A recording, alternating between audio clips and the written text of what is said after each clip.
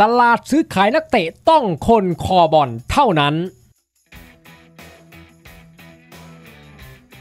Dafabet เว็บกีฬาระดับโลกจากอังกฤษลิงก์อยู่ที่ First Comment สามารถเข้าไปดูกันก่อนได้นะครับชูเสื้อแล้วครับซัมเมอร์ 2020ชูเสื้อแล้วครับทางการมิลานปล่อยซิลวาซบแฟรงเฟิร์ตถาวร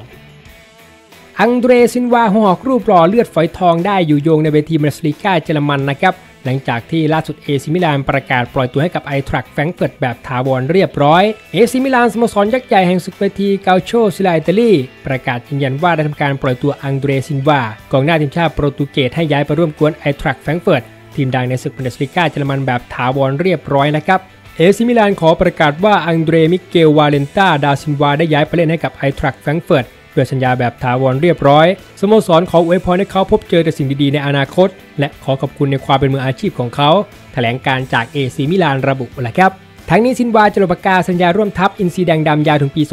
2023 โดยเดิมทีเจ้าตัวย้ายจากมิลานไปเล่นกับแฟรงเฟิร์ตภายใต้สัญญายืมตัวนะครับในช่วงซัมเมอร์ปีที่แล้ว ซึ่งเป็นการย้ายสลับขั้วกับอันเต้เรบิชกองหน้าชาวโครแอตที่ย้ายไปเล่นกับปีศาจแดงดำแบบยืมตัวเช่นเดียวกันนะครับซึ่งทั้งสองต่างทำงานได้ดีในฤดูกาล2019-2020 ที่ผ่านมา สำหรับฤดูกาลที่แล้วซิลวาลงเล่นกับแฟรงเฟิร์ตไปแล้วรวมทุกรายการ 37 นัด และก็กดไป 16 ประตูด้วยกันแหละครับ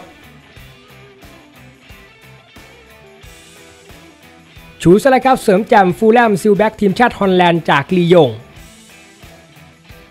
เจ้าสุนัขฟูลแลมเสริมทัพได้ดีทีเดียวนะครับ โดยล่าสุดปิดดีลกระชากตัวเคนนี่เตเต้ฟูลแบ็กชาวดัตช์มาจากโอลิมปิกลียงเรียบร้อย ด้านตัวนักเตะ happy สุดๆเลยครับ ที่ได้ย้ายมาชูเป็นแจ้งในทีมเครเวนคอตเทจ ฟูลแลมทีมน้องใหม่หน้าเก่าในศึกพรีเมียร์ลีกอังกฤษประกาศยืนยันทำการคว้าตัวเคนนี่เตเต้แบ็กขวาทีมชาติฮอลแลนด์มาจากโอลิมปิกลียง ทีมดังแห่งศึกลีกเอิงฝรั่งเศสเป็นที่เรียบร้อยนะครับทั้งนี้เรื่องค่าตัวของนักเตะวัย 24 ปีไม่มีการเปิดเผยครับ โดยที่เตเต้จะลงประกาศสัญญาค้าแข่งในทีมเครเวนคอตเทจเป็นเวลา 4 ปีนะครับ พร้อมกับถือ option ขยายเพิ่มได้อีก 12 เดือนเลยครับ โดยการมาของเตเต้ถือเป็นการสัมทับที่น่าจับตาอย่างต่อเนื่องสำหรับฟูลแลมครับ หลังจากก่อนหน้านี้พวกเขาได้เซ็นสัญญายืมตัวอันฟรงส์อาเรโอลา ผู้รักษาประตูชื่อดังของปารีสแซงต์แชร์แมงมาใช้งานเป็นเวลาหนึ่งฤดูกาลเรียบร้อยแหละครับมันเป็นความรู้สึกที่ยอดเยี่ยมมากๆ ผมดีใจที่ได้มาอยู่ที่นี่ ผมอดใจรอไม่ไหวแล้วจริง ๆ ที่จะได้เริ่มต้นเดินทางครั้งใหม่ และพบเจอกับเพื่อนๆใหม่ๆ ตอนนี้ผมรับรู้ความสนใจจากฟูลแลมผมดีใจมาก ผมบอกกับคนรอบๆข้างและรู้ทันทีว่า ผมต้องย้ายออกจากนิยงเพื่อไปฟูลแลม